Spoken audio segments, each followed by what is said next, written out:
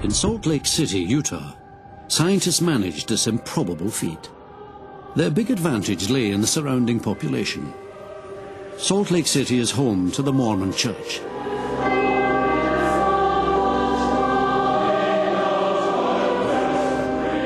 The Mormons believe that if you become a Mormon, so can your ancestors. As each ancestral soul has the chance to be baptized after death, the dead must be accurately identified.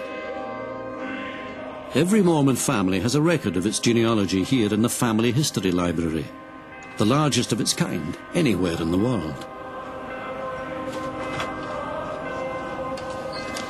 The community is one that is traditionally tight-knit and marries within itself, often producing very large families. For the geneticist, this is a potential goldmine of information that can be used to track down genetic disorders. Dr. Donna Shattuck was part of the breast cancer search. The idea that there's a single gene responsible for hereditary breast and ovarian cancer comes from the fact that there are families in which there's genetic clusters of the disease. So this is an example of a Utah pedigree in which a disease is segregating in multiple generations. And you can see that the grandfather here is affected with, in this case, prostate cancer. So the, all the affected are males here. The black squares are the affected individuals. As you scan this picture, you'll notice that the black squares, the affected individuals, have the green chromosome. And so then we look for the smallest piece of the green chromosome that goes into an affected individual. And that's how we know where to start looking for the gene. This is how they track down the breast cancer gene. With a short stretch of chromosome to focus on, they compared that piece with the same stretch from the general population. They found a mutation, an area where the DNA was damaged. The affected gene is enormously important as it acts as a tumor suppressor. But the mutation disables it completely, allowing the cancer to grow unchecked. The mutation was named BRCA1, breast cancer gene 1. Seen here as a single error in a gene nearly 8,000 letters long. It's a G, where it should be a T. Finding BRCA1 was a major milestone in predictive medicine. Because from this they were able to make the world's first cancer gene test.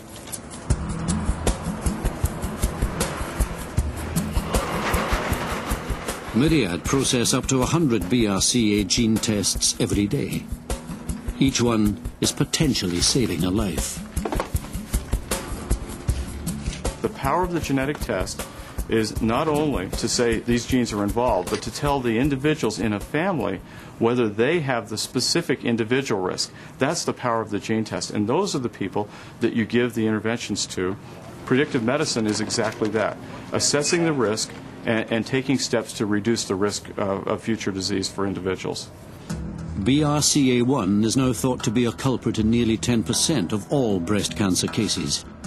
Having it raises a person's chances of getting breast cancer from 5 to 85%. For many adult women, the test for BRCA1 is an early warning system. Two years after her operation, Wendy Watson was offered the chance to find out if she carried BRCA1. She tested positive. Peak 107, the 50-50 music mix of yesterday and today. This is Sean and Becky at breakfast. It makes no difference to Wendy no, but it does affect her daughter.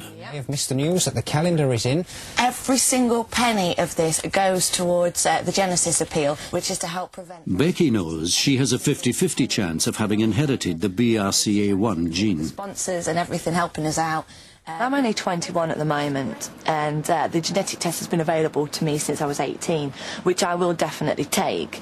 But uh, breast cancer is uh, in, in, our family doesn't strike till about 35, late uh, early 40s. So I'm in no big rush to uh, to worry about it. If you do want your calendar, then. Uh, you know, come down and get some. Get them in bulk. At the moment, the only preventative measure that's open to me is to have a double mastectomy. But in 10 to 15 years, who knows what they'll have developed. I mean, I have every faith in things that they'll develop something.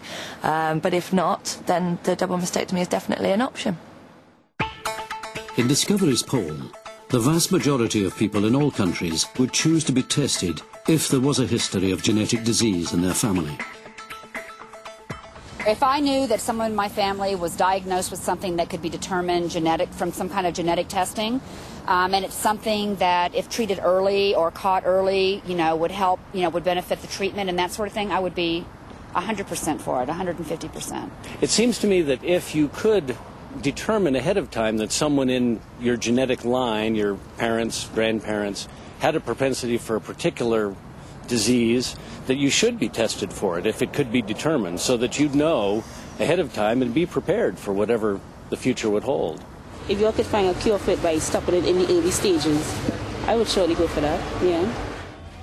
Gene tests seem to be the great hope of predictive medicine. But at the moment, it's only possible to test for single gene disorders like BRCA1. And that simple test took six years to produce. It's now realized that most of the major disorders like heart disease, Alzheimer's, most forms of cancer and diabetes involve a complex pattern of genes. As yet, no one knows how many.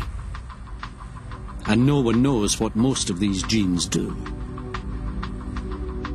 Professor Steve Jones thinks we may need a reality check.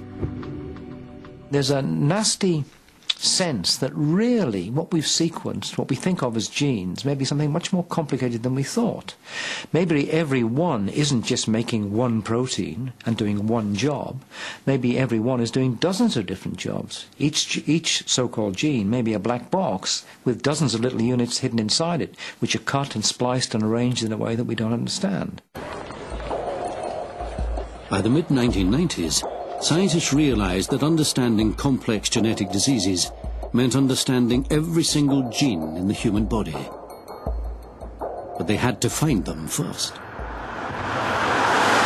Imagine all the DNA in your body stretched out like a road.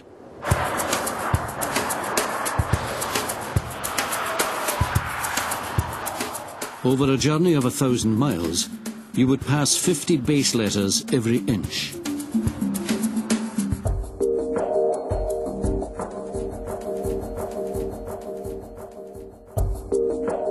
And just like the real landscape, much of that DNA landscape would look the same.